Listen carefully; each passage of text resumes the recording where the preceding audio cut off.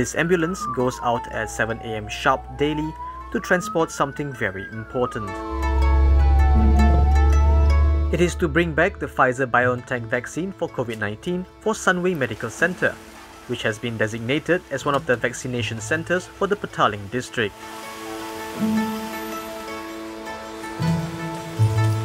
Pharmacy manager at Sunway Medical Centre, Cheen Ai Leen, has been overseeing the vaccine transportation since March 10th. She explained the vaccine trail when the delivery first touched down in Malaysia. The vaccine stocks, when arrived from Belgium, will be shipped out to the main hospitals, uh, which are called PSV, Pusat Simpanan Vaccines, where they are stored under uh, freezing conditions of negative 70 degrees Celsius. After that, they will be uh, distributed to the PPV, Pusat Pemberian Vaccine, which is the Klinik Kesihatan, where we, as the ZPVs, Zone Pemberian Vaccine, will collect from the PPVs to conduct our outreach vaccination program at our site. Cheen said to make sure the vaccine is in constant low temperature, it is transported using cold chain, which is a temperature controlled supply chain that keeps the vaccine in optimum condition and safe for the public. So in preparation, we have to ensure that our cold chain for the product is maintained throughout our entire journey. With that, we actually have uh, our cold box which we have to prepare in advance to ensure it is within the 2 to 8 degrees Celsius when it arrives to our PPV so that they can transfer the vaccine in. Cheen and another colleague follow the ambulance each morning to transfer the vaccine. It usually takes the team only 10 to 15 minutes from the Sunway Medical Center to the Puchong Clinic each way. At the clinic, there are stringent controls before the handoff to the team. Because of the COVID vaccination being so limited in Malaysia at the moment, records are also very detailed. They ensure that every single vial that they dispense out is accounted for and uh, as pharmacists we have to sign off on all the documentation to ensure that we have uh, everything in place. One vial of Pfizer's COVID vaccine contains six doses. The vaccine will remain stable for five days after it is thawed.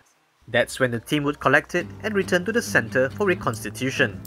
Reconstitution is a process of diluting the vaccine with saline before it's ready to be administered. Serene Lim, who's in charge of the nurses administering the vaccine, explained how delicate the vaccine prepping process is.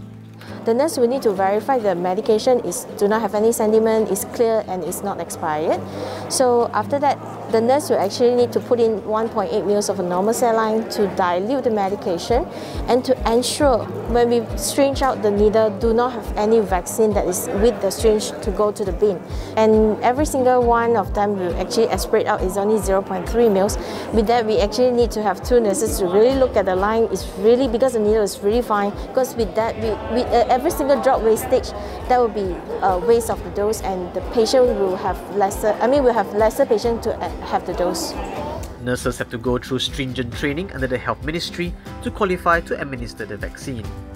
With high emphasis on zero vaccine wastage, the nurses hit their target each day, despite the heavy responsibility upon their shoulders. We have given a lot of pressure that is saying that uh, zero wastage, zero wastage, zero wastage. So the, the stress is there. But one more thing that we need to think is, if without us, who is going to do this job? So we will need to just be calm and just dilute it slowly and cool and calm, we will get it right. So yesterday we have done 216 doses. We, we, we really successfully do it without any wastage. Lim gave assurance of the way the nurses are handling the vaccine. So the vaccine is really kept in a very good cold chain and all of our nurses is well trained to do the dilution and also give the injection. I believe this is really safe for everyone to come over to take the vaccine. Malaysia is currently in the first phase of national vaccination program with priority given to frontliners, especially in the healthcare sector.